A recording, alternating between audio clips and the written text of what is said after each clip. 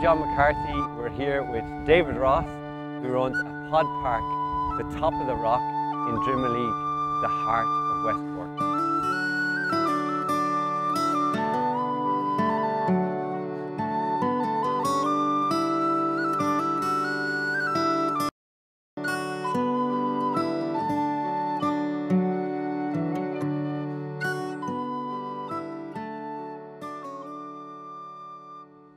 David, you met Mary in college, you got married, and you had three children, but then tragedy struck. Could you tell us a little bit about that? I, I met Mary in 1980 at, at college, and in 1982 we were married, and we came to live here at this farm in Drimoleague, which I inherited from my parents. Um, we had three children in the course of uh, five years, effectively, and um, wonderful children. And Mary's ability to make a home and to really give those kids everything she had was just fantastic. Um, just towards the end of the third pregnancy, um, she wasn't feeling very well and she was diagnosed with breast cancer. And effectively, the following 11 months with chemotherapy, radiotherapy, and so on was very, very difficult. I remember her sitting on the stairs here uh, at one stage, uh, John, uh, just in tears because of just how hard it was for her to feel that she was going to leave the children. She knew that her illness was life, life threatening and fatal, really. And uh, so it was so difficult. Um, Mary died on the 26th of January 1988. It was a, a deep and sad loss. Uh, she was just such an amazing person. She was such a wonderful heart for people and a love for God. And it seemed so difficult to come to terms with.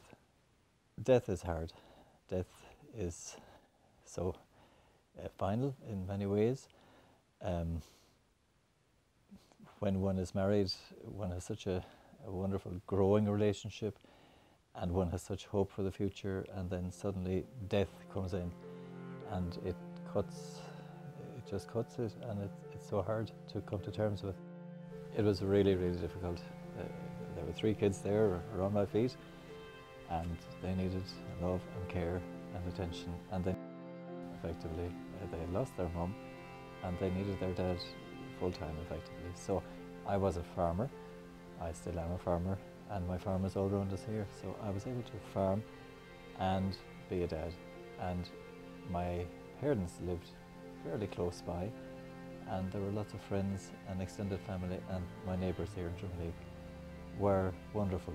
And um, but that doesn't minimise how difficult it was. Uh, the kids grieved. I grieved. At night when I would put them to bed, when I'd send them up the stairs, I would come down and it was hard. Yeah. David, where was God during that hard time? So many people have asked me that question, John, and uh, it's a very valid question. I would answer by saying that God was there. In fact, He was everywhere around me at that time. There's a verse in the, in the Bible that says, When I walk through the valley of the shadow of death, I will fear no evil, for you are with me. And the Good Shepherd that it talks about there is Jesus Christ.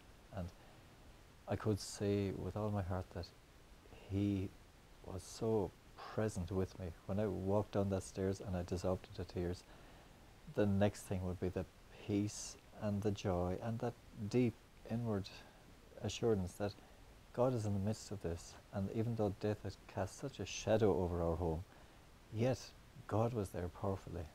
After that, I would find that the Lord would come near to me and comfort my heart, and I would find peace and hope and the ability to go on. And that came from Christ because He is the resurrection and the life. The fact that there's a heaven takes the sting out of death. Mary knew that because she was trusting in Jesus, who is the way to heaven, that she was going to heaven, and I believe she is there. Um, for me, when Jesus said, I am the way, the truth, and the life, no one comes to the Father except through me, I believe that Jesus has gone to prepare a place for us and that he will receive us to himself. The security of knowing Jesus in this life is the reality of knowing that you will be with him for all eternity. That makes sense of life, it makes sense of death, and it is, it is our only hope. And so therefore I believe in heaven because I believe in Jesus Christ.